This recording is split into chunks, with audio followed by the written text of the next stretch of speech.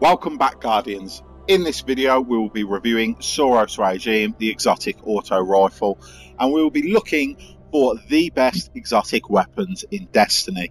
So let's get started off looking at the weapon and it has field choke which will increase range and slight impact increase I believe, linear and smart drift control. Now smart drift control is the obvious choice here it so clearly is what we're giving you maximum stability.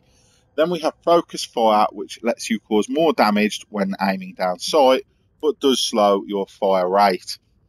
High caliber rounds for staggering your targets, and then my my favourite choice for this would be hammer forged. I think it's just utterly important, ups the range and makes this gun a real beast. Then we have lightweight, which will give you plus two agility, which is something I'm liking more and more on guns lately, but I must say Hammer Forge is my preference for this gun.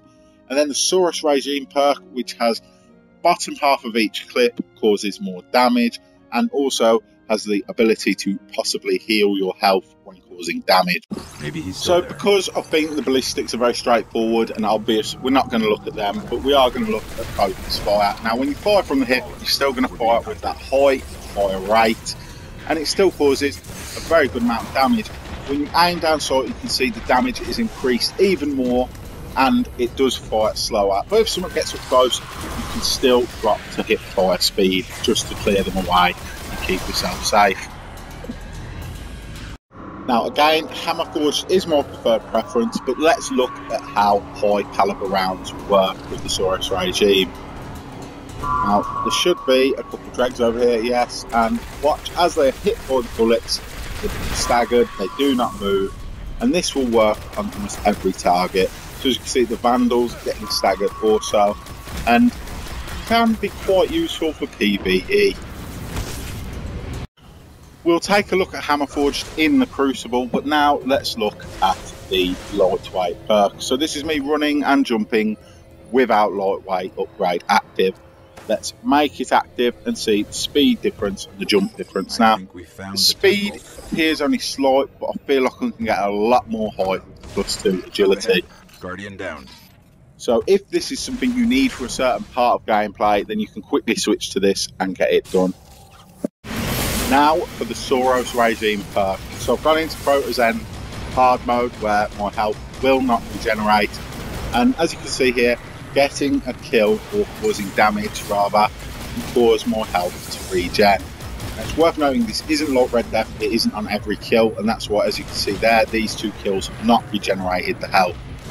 But it does happen more often than not. In PvP, the Crucible, Suros has not been affected by the patch. It is still just as good as ever. Now, it's hard to give you exact figures per bullet of damage, what with bottom half causing more damage, but the first half of your clip will cause 25 damage to the body and 31 damage on a headshot.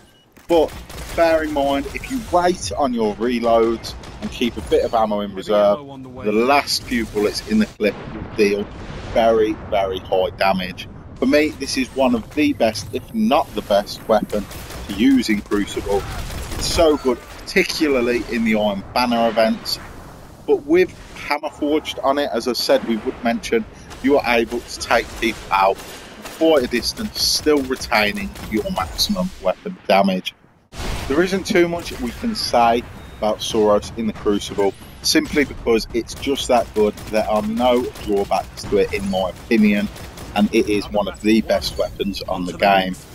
With its decent clip size of 33, maximum stability, high impact, high fire rate, and high range, depending on what perks you use, and the decent reload speed, there isn't really any reason why you shouldn't own Crucible using this weapon.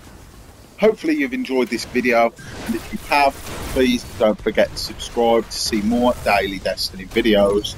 And if you think this is the best exotic weapon on Destiny, let me know in the comments below. If there's another weapon you prefer, also put that there. And thank you for watching.